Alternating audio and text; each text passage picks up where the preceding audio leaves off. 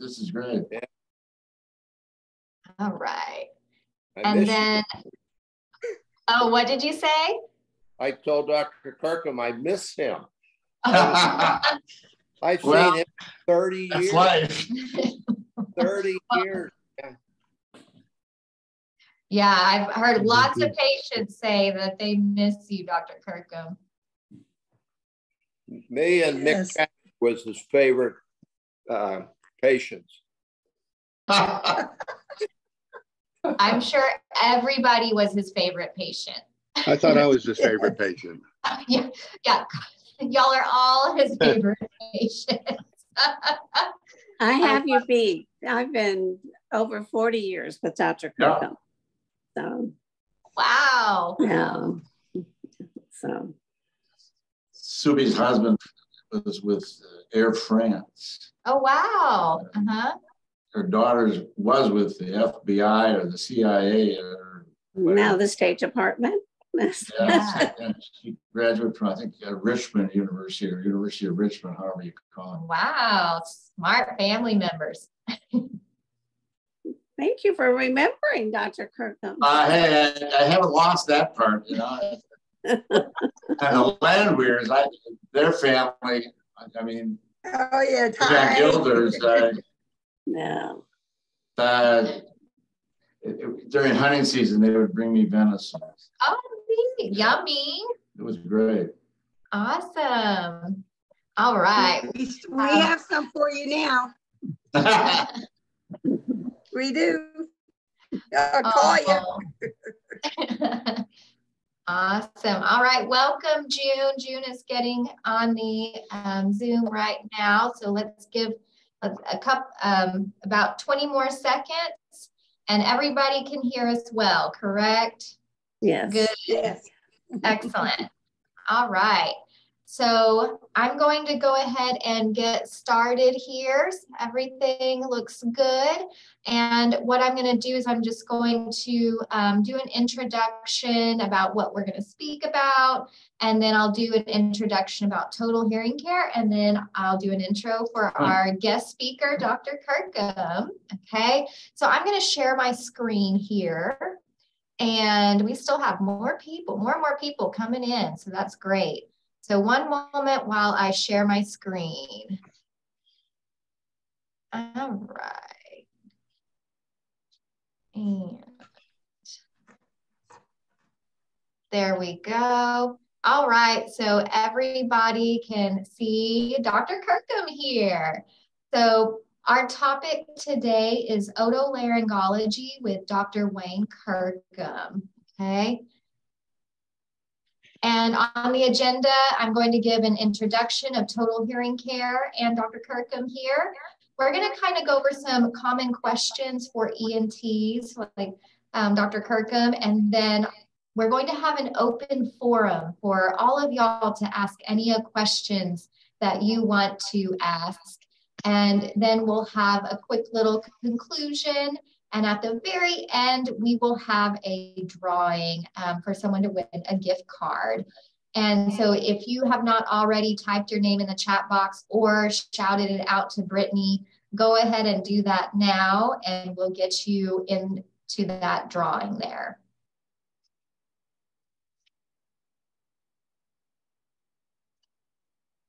Okay, so this is total hearing care. We have five locations across the Metroplex to help you. We have the OG, the original location um, that is off of Abrams and Mockingbird. We have our second location was our Coit and Campbell location. We have like an Eastlake Garland Road location. We have the location that we're at today that Dr. Kirkham, Dr. Kirkham and I are at today. It is our Glen Lakes Drive, which is pretty much Walnut Hill Lane and 75. Not hard to find, right? Not hard to find. Good, good. Looks like a house. And then we have our new Plano location, which is off of Preston Road.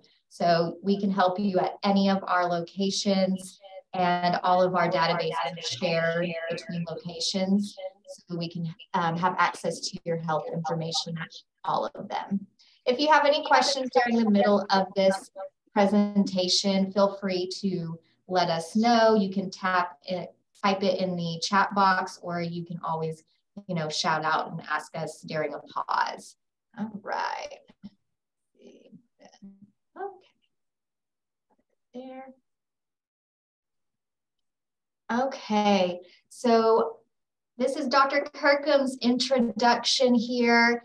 And Dr. Kirkham, you want to talk a little bit about yourself and, and what, what you've done, your accomplishments? Oh, one moment. Well, I'm an otolaryngologist, uh, ear, nose, throat surgeon. Uh, I was in practice up until basically a little over a year ago and had to have significant orthopedic surgery because I tore a tendon in my foot. And they said I'd be wiped out two to three months, double that, but at least I can walk now and I don't have any pain. But my background is uh, I, am from uh, the state of Wisconsin. I grew up in northern Wisconsin and I trained in Madison at the University of Wisconsin undergrad medical school residency. I did my internship down here in Dallas, and uh, my wife was a PhD. Uh, the, the, two of us said we got to go back to Dallas, so that's how we've been. And uh, I was in practice for roughly uh, 46 years. So, and that's uh, you know in all aspects of otolaryngology, from anything to do with the ears, nose, mouth, and throat. All right. Well, thank you so much for being our sure, guest speaker today. So we have some common questions here we're going to go through, and then um, we will have an open forum. So a lot of patients, you know, they say, how do I know when to see an ENT or otolaryngologist? I, how can I put it? I, if you're having problems hearing, ringing in the ears, vertigo, and, and don't just say you're dizzy because there's a lot of things that can make you dizzy. Uh, inner ear vertigo, the room will be spinning either to the left or to the right. Mm-hmm. If you get up fast and you feel a little off, that's not your ear. If you bend over and arise uh, quickly, that's not your ear. So you can call that dizziness, but that's not ear origin dizziness. If you wake up in the middle of the night and the room is spinning to your left or spinning to your right, you've got problems going on in your inner ear. Uh, and, and you really need to see an ear, nose, throat doctor because your primary care doctor really, that isn't uh, his or her ball game. Uh, nasal, obviously, if your nose is obstructed, bleeding, uh, you know, pain in your face, everybody calls nasal congestion sinus. That's like saying you have knee or elbow. Uh, you may have pain in your knee or you may have a clicking in your knee, but you don't have knee unless you're missing the, a leg. You, you, you have a knee, but you have something going on. The nose is the same difference. And, and sinus disease is not just nasal obstruction. We breathe through our nose, we don't breathe through our sinuses but there's a lot of potential for problems with the nose and sinuses. Everything that makes you sneeze is not an allergy. Every nasal stuffiness, every cough is not necessarily an allergy. Mouth and throat, wow. Uh, in kids, it's obviously tonsillitis is a common problem, but it also happens in adults. Uh, again, bleeding from the mouth, uh, cancer is, is common uh, in the mouth and throat for various reasons uh, related mainly to smoking and virus called HPV. Um, but you know, if you got problems going on in there, somebody needs to be able to look. And unfortunately, some of the areas that people will will think about is, is they'll go to their primary care doctor, they take a tongue blade and they just hold a, a little bitty light usually that they use to look in somebody's ear with. Yeah. I'd call it otoscope, and and they just shine it in, and they say, "Well, I don't see anything." Yeah, but you got to be able to look down at the vocal cords, up at the back of the nose, and and look in these areas. And it, it, it may not be able to say what it is, but if it doesn't look right, then it needs to really be further evaluated. And I mean, the vocal cords basically, we otolaryngologists stop once you get below the vocal cords. But the vocal cords are, are a big part of my background because I was in music before I went into medicine. And that's basically the area you, you go to. The head and neck surgery part of otolaryngology is having to do with lumps and bumps and masses, be it in the face, in the neck, uh, a lump in the neck, or a lump around the parotid gland. Usually these are related to tumors, not always. Uh, infections can cause a lot of lumps in certain areas, and it needs to be evaluated. Um, sometimes the first sign of a cancer in the head and neck region is a lump in the neck. They, they have no other symptoms but that. And you just, the reason to go to an otolaryngologist is, is he or she can look at those areas that the, the primary care doctors just can't. They don't have the equipment and they, you know, you, you can't be all things to everybody. Uh, Correct. If you're having gynecologic problems, go to the gynecologist. You know, if you got a broken leg, go see an orthopedic surgeon. I mean, it's uh, it, it just medicine is not like the days of the frontier. Uh, you, you you really need to concentrate on one area. Specific, yeah, I agree with you 100%. I have patients all the time, Dr. Kirkham, that they come in and they're like, I can't hear, but my primary care physician looked in my ears and I'm like, well, they're they're full of wax. So, you know, and and they're like, well, you know, primary care physician, they're, you know, they're trying to get the whole picture and and and it's it's difficult. But thank you for explaining about, hey, when do I need to see? Yeah, it, it, I mean, we're it's a great field. I love it. Yeah. So, what kind of hearing loss can be treated by an ENT? Well, uh, basically, you've got conductive hearing loss where sound can't get in to the nerve of hearing. And usually that's uh, amenable either to medication or surgery. Uh, and if you got fluid in your middle ear, and you can sometimes get rid of it with medication, children develop fluid frequently. It's called serous otitis media or otitis media with effusion, uh, however you want to call it, fluid behind the eardrum. And if you can't get rid of it with medicine, you can get rid of it with surgery, make an incision in the eardrum called a myringotomy or a tympanostomy, and you put a tube in. It's a common procedure because ear disease is common, especially in kids, but adults get tubes as well. Um, if the ear bones don't move, the usual bone that doesn't move or has a problem is the stapes bone, the stirrup. But the other bones can have problems as, as well. And uh, by audiometric testing, you can pretty much predict what you're going to run into. And that can usually, 99% of the time, you can fix that with surgery.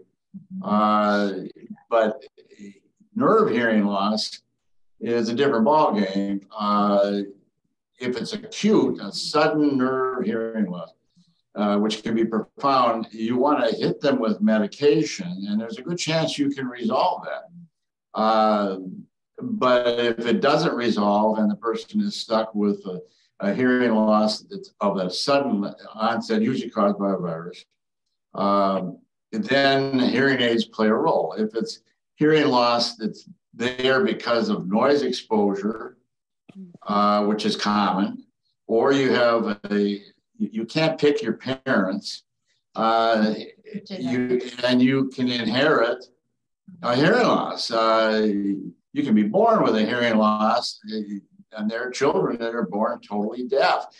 Uh, but that isn't as often as as acquired hearing loss from noise exposure or shooting guns or just noisy environment.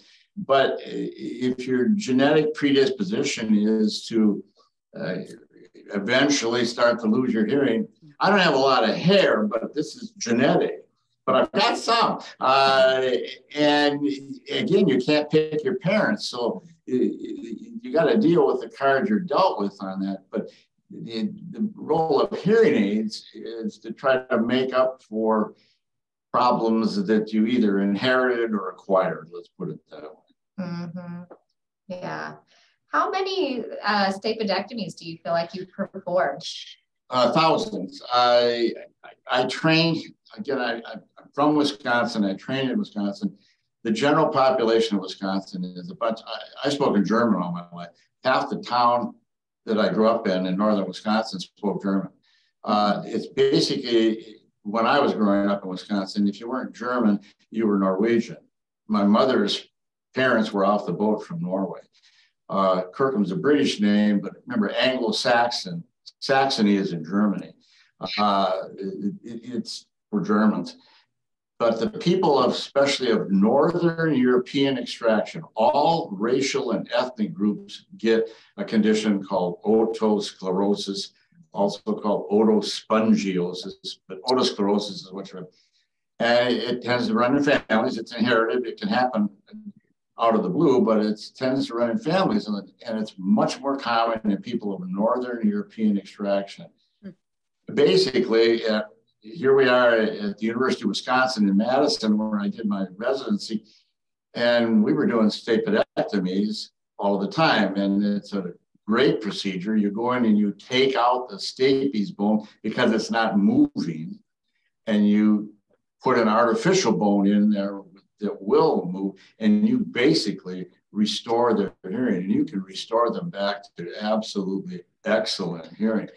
Uh, and since I, where I trained, it was a common problem. Uh, I had extensive experience and I saw everything that, that was weird and different. So by the time I went into practice, my attitude was throw the ball up and I'll hit it out of the park. Uh, I, and as luck would have it, I ended up uh, seeing a lot of people with otosclerosis. And it, it doesn't happen in both ears always, but it's common to get it in both ears. And I will tell you, uh, it, it's a guarantee. If you fix the one ear, they're going to come back for the second ear. There's, and you can really, you have a happy, happy patient because they, you restore their hearing. It's a fabulous procedure. Um, it, it, and it's fun as a, as a surgeon maybe shouldn't say fun, but but it, it, I I love my patients. Uh, I mean, I, am happy to see some familiar faces. Um, it, you you get a special bond when you've restored their hearing. I mean, restored it, uh, and they don't forget it. Uh, yeah. You know, they'll bring cookies next time. yeah. Uh, well, yeah. And it's a great procedure, but it again, it's a conductive hearing you can get uh, otosclerosis that involves the cochlea. It's a, a, change of the bone, and cochlear otosclerosis causes a nerve type hearing loss. That part you can't resolve with the surgery. But if they have fenestral, meaning where the oval window is, where the stapes fit, that's that's totally correctable with surgery. The oval window is right there. Around it, yep. Yeah, and here's some little tiny ear bones. We've got Dr. Kirkham's favorite there, the stapes yeah. right there. And these are very, I don't know if you can see them here, but they are very tiny. It's roughly three millimeters in length and two millimeters wide. And you, the procedure is all done under the microscope. If you have a shake, you, you won't be doing this procedure. Yeah I don't have any shake, so uh, haven't developed it yet. It was, uh, I love the surgery. It's, it's, all very, very tiny microscopic, and you're under high power magnification. And uh, I had excellent training, and uh, it's a fabulous procedure. So you good at threading a needle because that's so tiny? Yeah, I mean, uh, it's you got to take out the stapes, uh-huh. and you can damage the ear in doing so. You got to know how to how to do it. And then you, you, you, take cartilage that covers the bump. This is called the tragus, this bump. And you take cartilage from this, uh, the covering of the cartilage, tragal perichondrium, and you cover over the open oval window and the artificial stapes goes on top and is connected to the other ear bones. Put the eardrum back down and head for the barn. And it's, uh, and when you take the packing out, then you pack the ear canal. And I see him back a week later to take the suture out of the ear and you take the packing out. I mean, they hear Hear. immediately, and it's uh, Life changing. oh, it's it's a Yeah. it's a it's an emotional moment. Yeah, that's life changing for those patients. Oh yeah, it's great. I mean, your your otosclerotic patients, uh, they will send you other patients. Let's put it that way. Yeah. they're they're advertising. Yeah, they're their Oh yeah. This was an interesting question. I've been asked twice by patients, not just once. But um, will trimming my nose hairs make me more susceptible to germs? The answer is no. It won't make you more susceptible to germs. Let, let, but the nose, the right inside the nose, is called the nasal vestibule. It has a resident population of bacteria, Staphylococcus. So staph lives in staph is on our skin. It's a skin bacteria. It's everywhere, but it's especially in a higher concentration in the nasal vestibule. I won't demonstrate, but if you stick your finger in your nose, you're in the nasal vestibule. That's where the nasal hairs called vibrissae are. Uh, you can trim them, and that's not a problem as long as you don't cut yourself. The problem with pulling nasal hairs is that's traumatic to the tissue. When you pull that hair out by the root, the bacteria have an immediate entrance into your system. Not a good idea, especially in an area that basically is a cesspool for bacteria. It's better to use uh, blunt tip scissors, or you can buy the, the nasal trimming devices, battery operated. Um, you know, I, I had a, a lady, I'll never forget it. Uh, she was 60, 70 years old, and she didn't like her nasal hairs. And her daughter brought her to me, and she had used Nair, which is a depilatory that you could put on your Oh skin so that you want to get rid of hair. But she used it in her nose. And, and you got to remember that the nose it starts out as skin inside the nose, and then it becomes mucous membrane. And when you put Nair on the nose inside, and it gets on the mucous membrane, it's a fire. I mean, and she was miserable. And I'm going, you know, don't go putting Nair in your nose to get rid of hair when it's it's not that big a deal. I, you know, if it's you can trim it, it's life. I mean, it's Yeah. it, it's just life. Uh, it's but uh, don't pull it, trim it. Yeah, I think so. There was a TikTok. Um, Oh, TikTok. I know. there was a TikTok challenge, and what people were doing was putting, uh, getting a Q-tip, sticking it in hot wax, and then sticking it up their nostrils to trim. And I think that's why I've been asked this question twice in the past two years or whatever. Because when they would pull it out, I mean, it was like waxing the inside of your nose, and then they would get it stuck in there. Would Don't. I wouldn't recommend. yeah, That. I would. but I bet that's why I. I don't know. oh goodness. Yep. Okay, this is interesting. I love this picture. And so, what type of throat voice disorders are there, and what are we looking at? I can't list all of the ways. um, what you're looking at on the left side of the screen, the, the horizontal slight curve is the epiglottis. And uh, that basically protects your airway when you swallow. If that doesn't move properly, or if that's a, uh, a life-threatening condition, it's called epiglottitis, and that's an infection of the epiglottis, mainly seen in children, but it you can die from it. It'll obstruct your airway. When you swallow, the epiglottis flips down and makes it so that food and water don't go the wrong direction, meaning down into your airway. The pearly white tissue down further with the black center area, those are your real vocal cords. The black is your airway. That's the entrance into your trachea. The V-shaped structures, those are what we call the aryepiglottic folds. And at the bottom of the V, that helps move uh, with your vocal cords. It's called the vocalis process. And that is just a part of the mechanism of airway protection. Remember, the vocal cord's first job is to protect the airway. A dog has vocal cords. A horse has vocal cords. Uh, they're they're not talking to you, but the vocal cords protect the airway. The second job in people is for speech, but the first job is protect the airway. So if you have uh, you're eating salad and salad, let's say it has vinegar and oil. Uh, olive oil, I do really love it. I eat a lot of it. If it gets onto your vocal cords, it's going to create a major coughing spell because it kind of lingers. It doesn't, it, it, oil will stay attached. Water based stuff will be able to be coughed away quickly.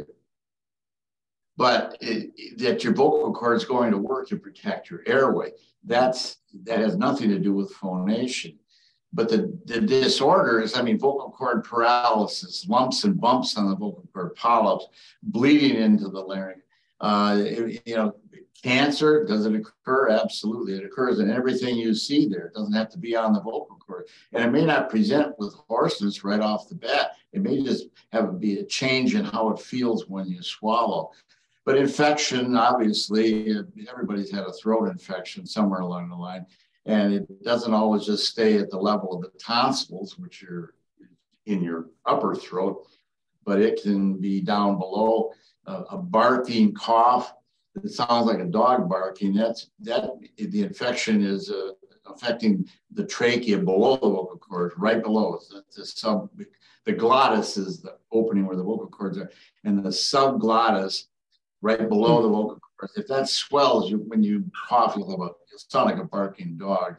Uh, croup is is swelling in that area. So you, you say it's a croupy cough. It's really a barking dog sound to the cough. But um, with my singers that I deal with, uh, you know, there's all sorts of things that can go wrong, but usually it's overuse and the side effects of that. And you got to be able to look at it, know what's normal and what's not normal. And uh, it takes a long time to get good at it. Let's put it yeah. that way. but it's uh, it, it it's always a, a, new. When a patient walks in with something new and different, and, and scar tissue, or somebody else has operated on them and they got too aggressive, or uh, you know, some things you can fix and some things you can't. But uh, I had the, the good fortune of being in music before I went into medicine. And uh, if you know more about music, it's, it's easier to realize when they get into trouble doing certain things. So, uh, love the field. It's great. All right. And can my allergies affect my hearing? The answer is yes, um, but not significantly usually. Uh, First of all, make sure it's an allergy. Everybody who sneezes thinks it's an allergy. Uh, a sneeze is your body trying to get rid of an irritation in your nose. And uh, it can be just from dust. In you walk into a dusty house or whatever. Um, you don't have to be allergic to that dust, but it's irritating the lining of your nose. In the winter time, especially in Dallas, uh, when the heat comes on, it'll dry out your house uh, and a dry nasal passageway, the humidity is down to 30%. Um, it, that'll cause you to sneeze and what have you. But if you truly are allergic, let's say to grass, mold, um, you know, pollens of some type, uh, you, the common mistake that, that people make because they see advertising on TV is they take an oral antihistamine. Oral antihistamines are not a dangerous drug, but oral antihistamine, one Zyrtec, Allegra, Claritin, Benadryl, one will cause the microscopic cilia, the little hairs that, that aren't the nasal hairs, but these are hairs that, that in essence move your mucus and they're in your sinuses and they're in your nose uh, and it's called ciliated epithelium. And they move the mucus that's made in your sinuses out into the nose and then down into your throat. One Zyrtec, they stop moving. Now, is that going to create a problem? Well, one isn't, but most of the time, these people are popping in a Zyrtec every day, uh, twice a day, or Allegra. They're taking Benadryl because it helps make them sleep, but it, it's also shutting down their cilia. And that's an invitation for an infection. And the cilia also line your eustachian tubes. Well, your eustachian tubes, remember the ears are a part of the respiratory tract. You may not think of this being respiratory, but it connected to the back of the nose with the eustachian tube. You take an Allegra, the cilia stop moving. So the fluid that's made by little cells, the mucus, it's mucus that's made, uh, doesn't move. So it gets behind your eardrum and it, it can stay there. And then you've got a what we call a conductive hearing loss. Sound can't get through, and you can try to pinch and pop. You can do all that, and you may or may not get it to shape up. Uh, when you fly on an airplane, and if you don't equalize pressure, the may develops fluid in there, and then you'll have to have an intervention. The allergies can do it. If you're gonna in this day and age, what's over the counter in the way of sprays, steroid sprays, Flonase being the most common, fluticasone, excellent nasal steroid spray. It takes about 10 days to two weeks to kick into gear. A lot of times patients would come in, well, Dr. So-and-so told me to take Flonase. And I used it for two days and I didn't notice any change, so I quit. And I'm saying, did anybody tell you that it takes about two weeks to kick into gear? No, well, um, it doesn't work immediately. But it's a, it's a steroid spray which cuts down on the irritability, the inflammation of the line of the nose.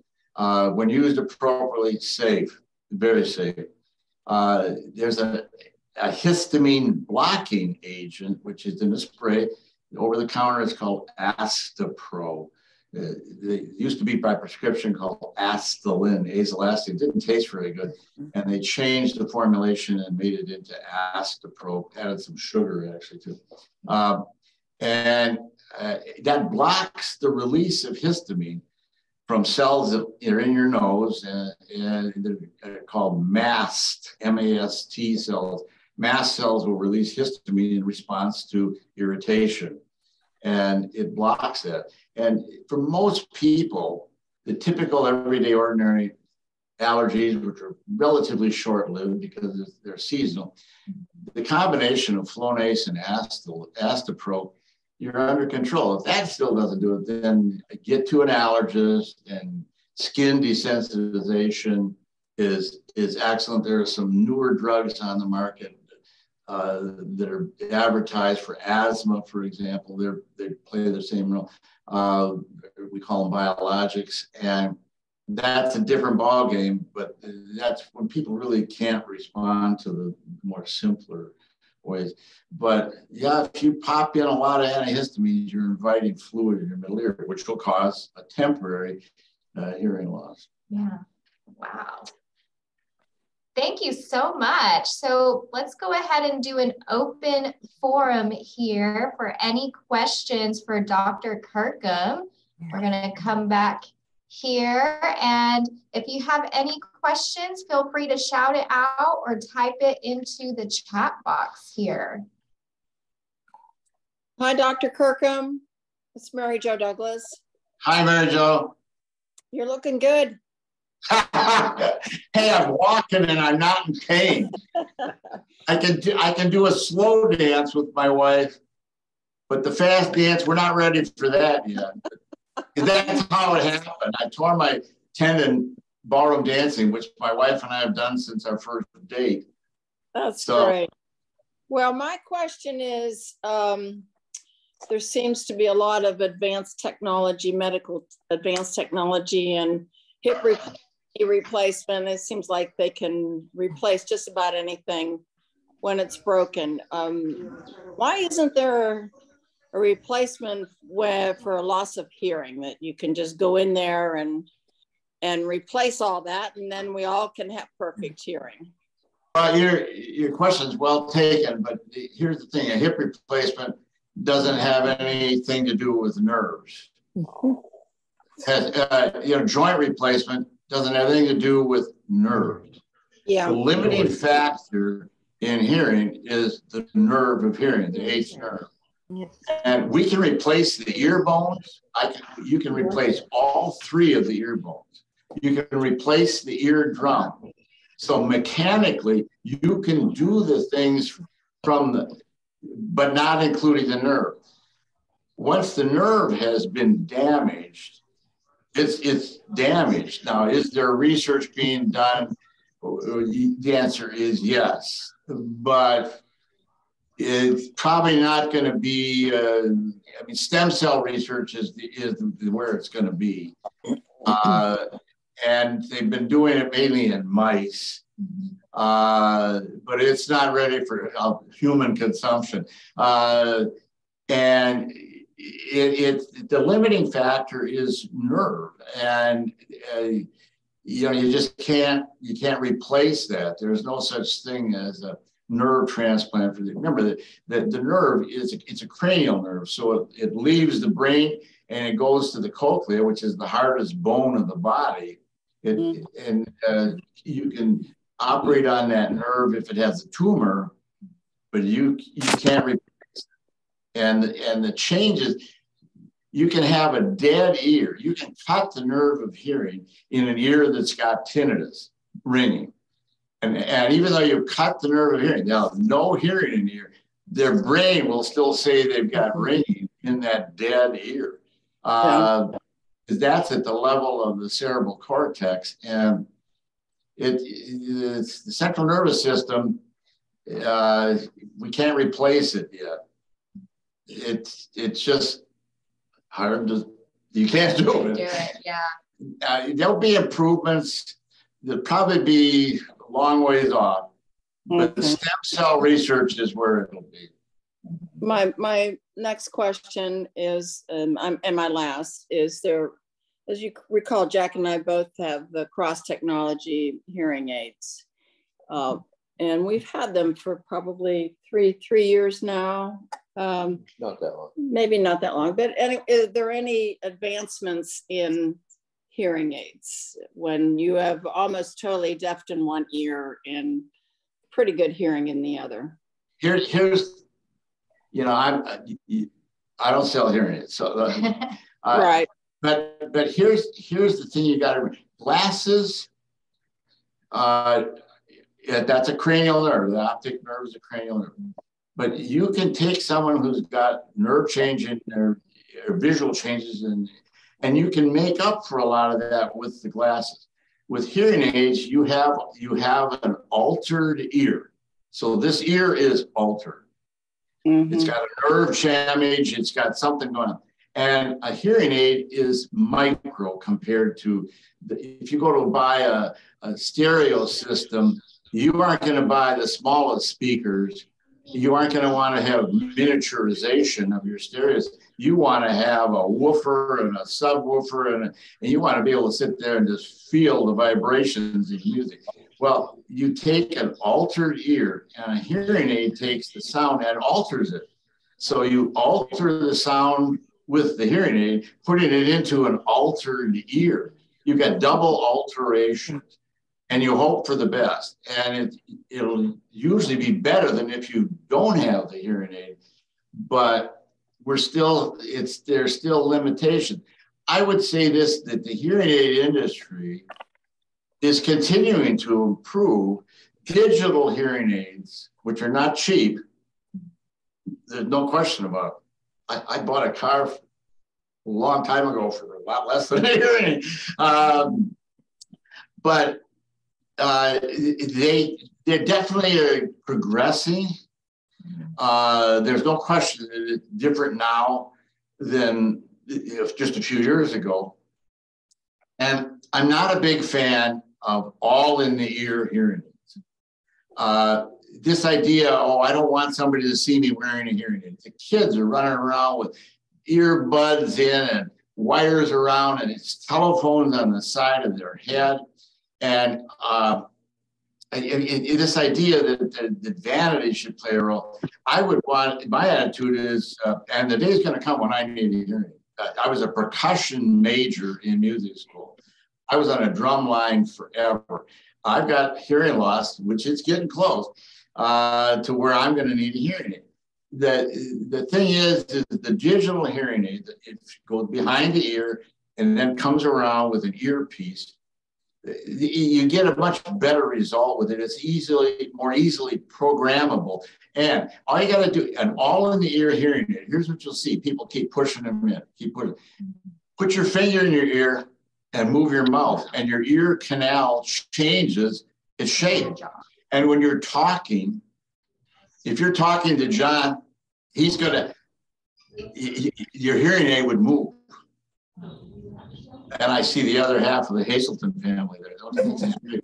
Uh, also, John. Uh, anyway, uh, the behind the ear hearing aid, when you put the earpiece in, it has a it has a give to it, and all in ear hearing aid doesn't have any give to it, and and therefore it tends to move very little in and out of the ear canal, and so you get better fidelity, you get a better sound. So I, I always encourage patients when I said, "Hey, look, you need a hearing aid," and go for a behind the ear, otherwise a BTE. Uh, want to speak their language, um, a BTE, and and you can get the clear plastic tube. Or now they've got some wires that come, and so that it's actually a the receiver is in excuse me in the ear. I see a throat timer, and the receiver is in the ear. And yes, I, I got I got to get a drink. What anyway? The, the fidelity will be infinitely better with the behind the ear, and you can adjust it. And and in this day and age, the digital hearing aids are more expensive, but they're definitely the way to go. And um, you know, I I think the days of worrying about vanity hopefully are, are behind us. I mean, all you got to do is that, that, that, with the number of kids that are running around with stuff in their ear, it's just yeah. I mean, I don't think that you know, it, I. Yeah. I don't think that when I was a kid, there was a pharmacist in my hometown in Wisconsin. Great guy, and he had a body hearing aid, and it was a big thing that sat here and it and wires coming up here and it kind of scared me. I mean, I, I can remember uh, probably eight or nine years old. He had this, and yet a, body hearing aid. It, it was it was what they had, and some hearing. I, will only say that some hearing is better than no hearing, um, and your significant other will get very tired of you saying what or huh, and yeah. and and and you know, I, it's just it, it, I think as, as you and I grow older, you, you want to be with your friends and, and if you can't communicate or they say, well, you don't listen to me, so I won't even call you to go out to dinner or something. I, I think that's sad because then you kind of, you, you get isolated and um, I don't want to be isolated. So, uh, uh, but uh, I, I, I hope I don't step on anybody's feet. But an all-in-ear hearing aid to me is it's not the way to go. Yeah, the uh, majority of patients are going with RICs or BT, BTEs. Yep. Mm-hmm. It just, it, it just, if you're going to go, if you're going to spend money, you might as well get the best for your money. And an all-in-ear hearing aid, if that's all you can do, well, okay. But it's not getting the best for your money. Yeah. It's absolutely. definitely not getting the best for you. Yeah. And we have um, a patient in the chat box asked, and we touched a little bit of it because you were talking about tinnitus um, that's, you know, in the brain, but the, what causes tinnitus? If there Number one cause of tinnitus is nerve damage. Little cells in the in the ear, in the inner ear, called hair cells, in the cochlea, and and you take mechanical sound that moves sound. A sound wave is mechanics, moves the eardrum, moves the ear bones, creates a, a movement of fluid in the inner ear, and that fluid stimulates because of the frequency stimulates certain hair cells. And those hair cells send a, nerve impulse uh, to the brain, and then it's interpreted in the hearing area of the brain. When those nerve cells, those hair cells get damaged because of a blast injury, or you can get chemical. I mean, there's certain antibiotics, we call them aminoglycosides, uh, gentamicin, kanamycin, the vancomycin, and these mice, and those are reserved for really bad, life-threatening infections. But they can, they're ototoxic. They can kill your ears. Uh, aspirin in high doses can damage your ears. Uh, but it, it, when those are damaged, then the, the brain has, in essence, an injury, and it sends that message out to you as tinnitus. Uh, and you know, it, it, there's a certain background tinnitus, just like there's background noise in the environment.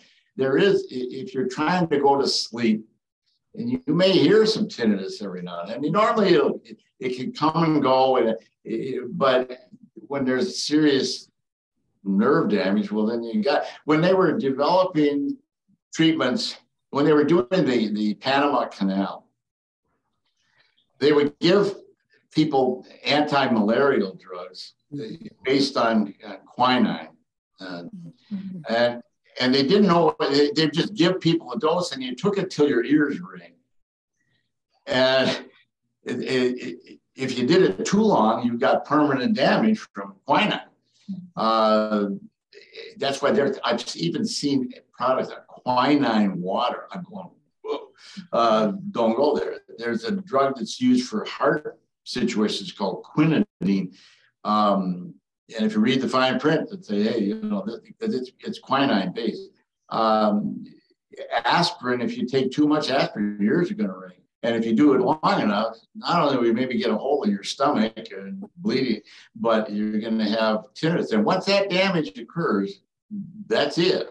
Um, so it, the most common cause of tinnitus and, and the preferred pronunciation, tinnitus I is fine, but the preferred is tinnitus. Uh, once you get that, it's there. It, it, if you if you notice a lot of tinnitus because of fluid in your ear, get rid of the fluid, the tinnitus will go away. If the ear is plugged with wax, uh, get rid of the wax, and the tinnitus will go will be put back in the corner, and you probably won't hear it. But again, uh, wax is kind of another problem. Uh, you know, you can scratch somebody else's back, but you can't necessarily scratch your own. Uh, wax is not the enemy. It's your, think of it as your fingernail. You trim your fingernail, you don't remove your fingernail. And Q-tips in ears are a disaster. Um, and, and people, they get, they get off after wax with such a vengeance that, and I'm telling you, cleaning your own ear usually is fraught with a problem.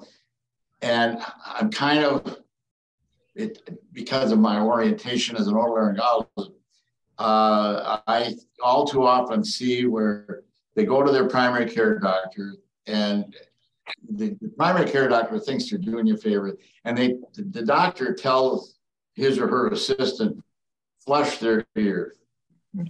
The doctor doesn't do it. This is the, probably the lowest person on the totem pole would do it. And the next thing I know, I get a call. They've got bleeding from the ear. They didn't get the wax out, and now they're in serious pain.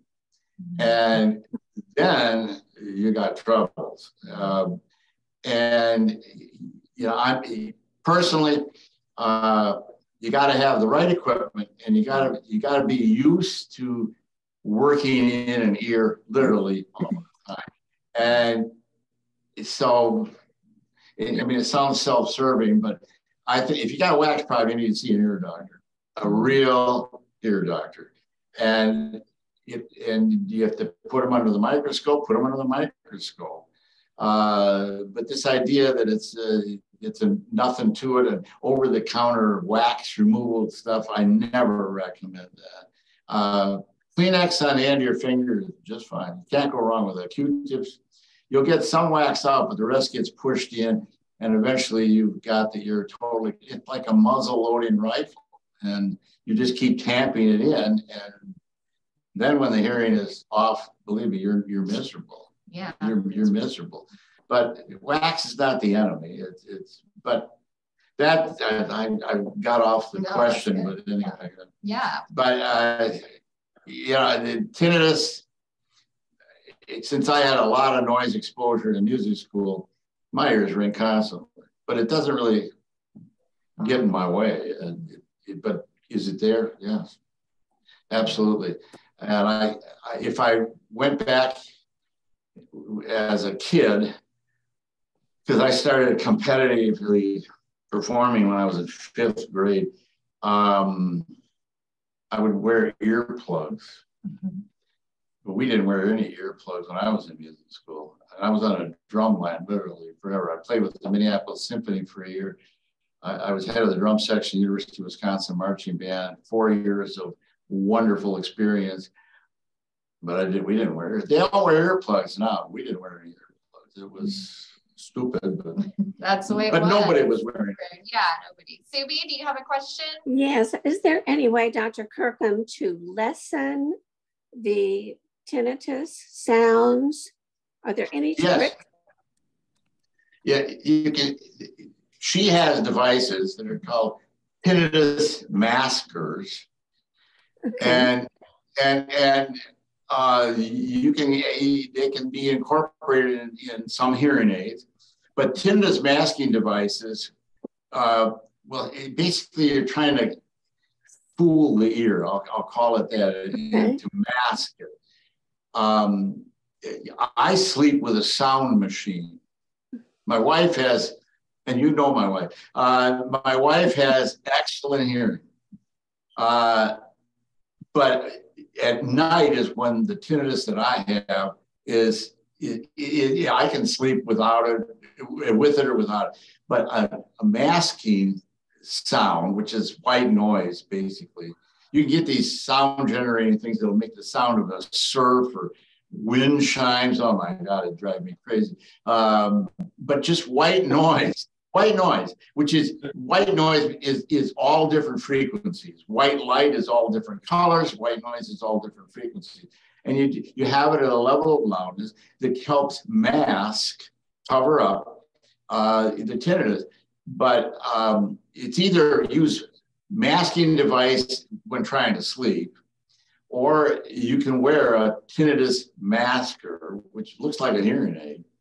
Uh, and because it can be a real problem. I mean, she she's got to deal with it. I mean, my I mean, if I had somebody that was really complaining about, I'm saying, you know, you need to go to total hearing, you know, because there are devices there that can, and, and the key is is tailoring it to the pitch of your tinnitus.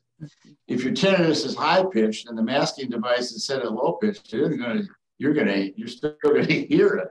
You you want it to be that white noise covers all of those frequencies, but a masking device of that they have, then you you you smart bomb it at the area where the pitch is, and uh, that I mean if you get it at the right frequency.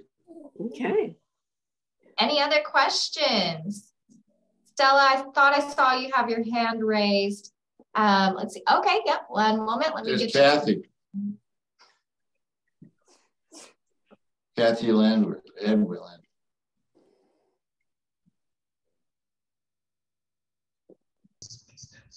I don't hear it. If you'll unmute your microphone there, we'll be able to hear you.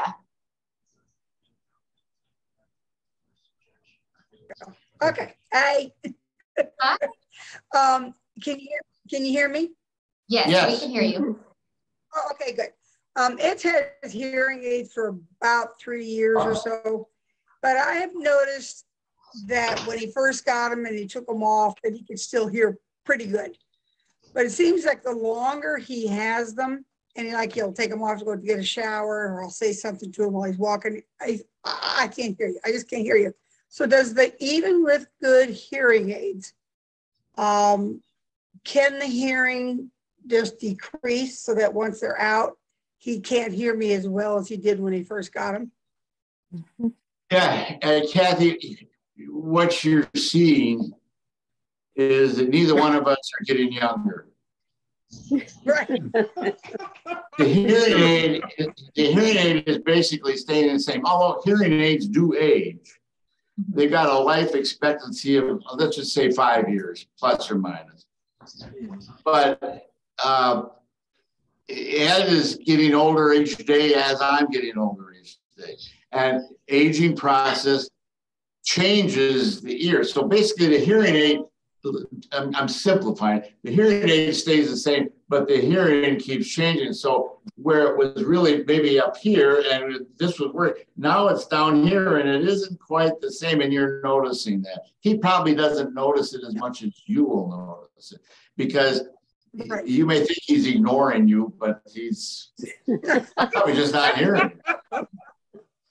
I mean, it's just it's just life. It is that yeah.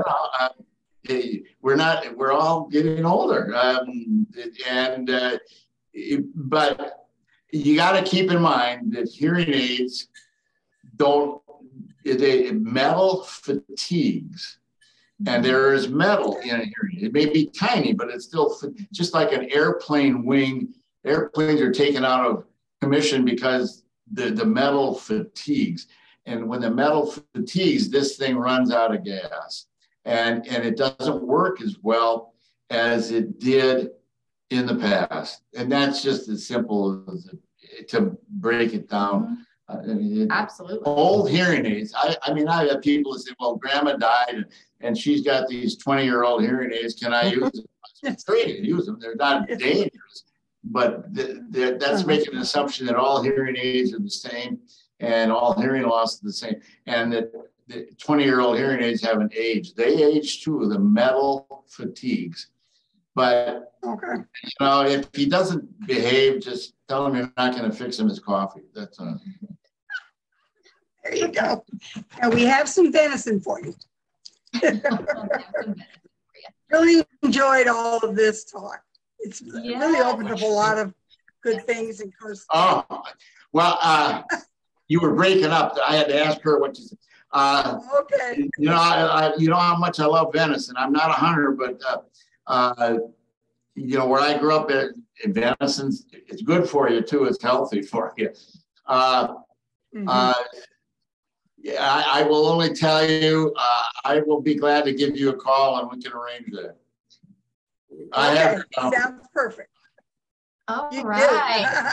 Thank you. Any other questions? Talk to you and good to see you. This was oh my God, there's Tyrone. So Tyrone, hi. Do you have a question? I'm gonna ask you to unmute. You can unmute. I, I just wanted to say hi to Dr. Kirkham. It's good to see him and seeing him. Hi, Tyrone. How you doing? Absolutely buddy? fabulous vocalist. This guy's got it. He's, wow. he's uh, Marvin Gaye reincarnated. Only because you took care of me for so many years. That's why. So. Oh, well, that's thank you for coming, Dr. Kirk. Oh no. Yeah. Have you been back to Israel lately? I'm going back in May, matter of fact, and I've been back. Yeah. I went back in October. Yeah, yes. So yeah, with his church. Oh, wow. Good guy. Dynamite talent. Yeah. Awesome. All right.